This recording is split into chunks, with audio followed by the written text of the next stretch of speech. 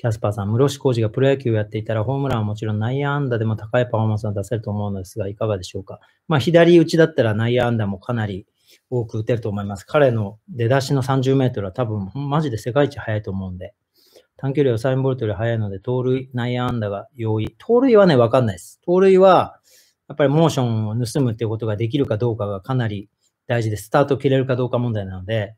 まあ、0.1秒到達のを速くするスピードを手に入れることもできるし、0.1秒スタート速くすれば、行った先で0.1秒、だから1メートル稼ぐことはできるんで、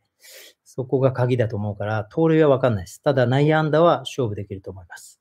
えー、そう、主は一郎選手に匹敵する結果を出せると思うのですが、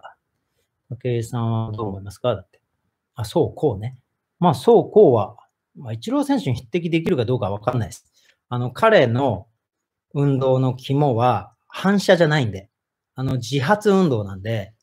はい、あの、自分から運動を起こして、あの、物体をコントロールすることは非常に得意だけども、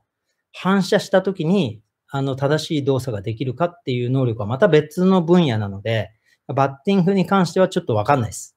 あの、伸びるかどうか。ただ、ホームランを打てとかっていう、はい、あの、3割でいいよ。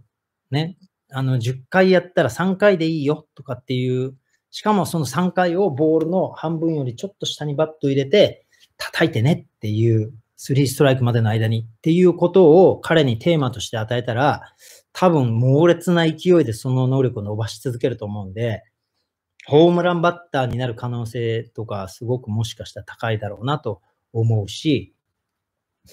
はい。だから、どんな球も率高くヒットを打つっていうよりは、そっちの方が効果あるかなと思います。はい。